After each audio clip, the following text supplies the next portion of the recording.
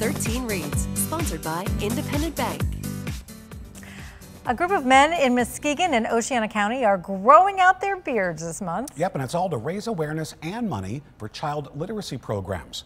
During National Reading Month, United Way of the Lakeshore hosting Beards for Books. Nearly 30 men are either putting their beards on the line or growing one out for the month of March. Each one has a fundraising goal and will shave their beards off once the fundraising goals are met.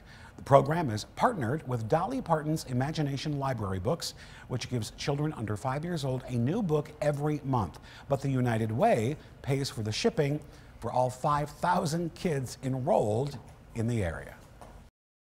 Right now in Muskegon County, over 60% of our kids in third grade are not reading proficiently, right?